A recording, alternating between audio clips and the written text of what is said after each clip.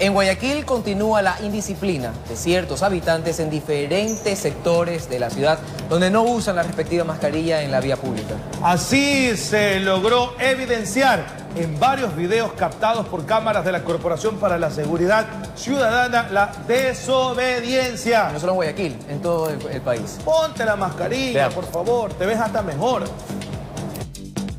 Buenas noches.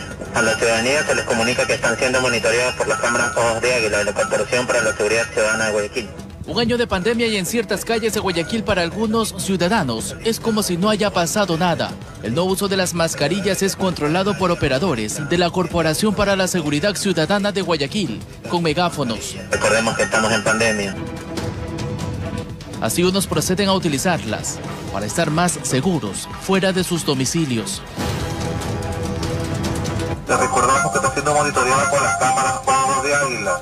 En otro punto de la urbe porteña, el sistema Ojos de Águila advierte de las sanciones y consecuencias a un grupo de jóvenes que conversa en horas de la noche.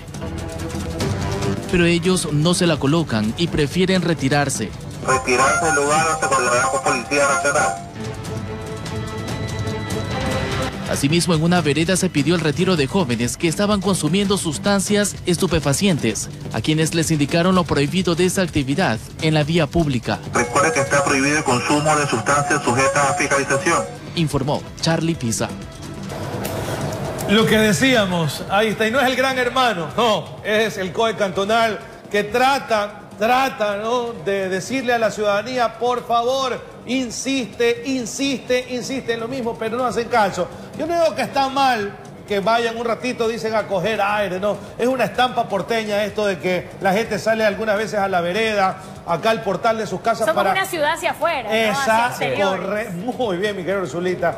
Y yo digo, está bien, ¿no? Voy a conversar y todo. Dice que ese es el WhatsApp criollo, estar conversando afuera con la vecina. Pero protégete con las, con las normas de seguridad, ponte la mascarilla. Eso es, eso es necesario, imprescindible para poder nosotros estar. Se ha convertido ya en parte de, nuestro, en nuestra, de nuestra vida, ¿sí? De, del cuerpo, ¿no? ¿Tú Como, un interior.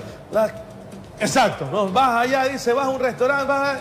La mascarilla y tienes que Regresa, otra vez, otra vez. regresa. Y es una Sí situación que, te- claro, y muchas veces que tenemos que adaptarnos. ¿Por qué? Porque ya se ha determinado que la mascarilla ayuda, ayuda bastante a la prevención de este coronavirus que no sigue, que estamos, sí, con vacunación a nivel mundial, sí, pero nosotros hasta que nos llegue tendremos que esperar. Y mientras tanto tenemos que prevenir con la mascarilla. Y, y- y no, y no es tanto eso, porque mira, hace un, hace un tiempo atrás yo estaba escuchando personas que decían, sí, pero con eso me causa alergia, No me molesta. causa granos, ¿Qué quieres morirte? me, me ahogo, si no me muero porque me, af- me me asfixio. Me asfixio. Eh, Personas hacen ese tipo de comentarios. Ahora estuve viendo A mí me en redes pasa sociales. A mí me pasa, pero yo lo- pero yo lo tengo que hay usar. que hacerlo, pues. ¿Qué prefieres morirte de, de Por qué, pues? supuesto, de Pre- COVID. Prefiero que me salga un grano a que me caiga a contagiarme de COVID-19.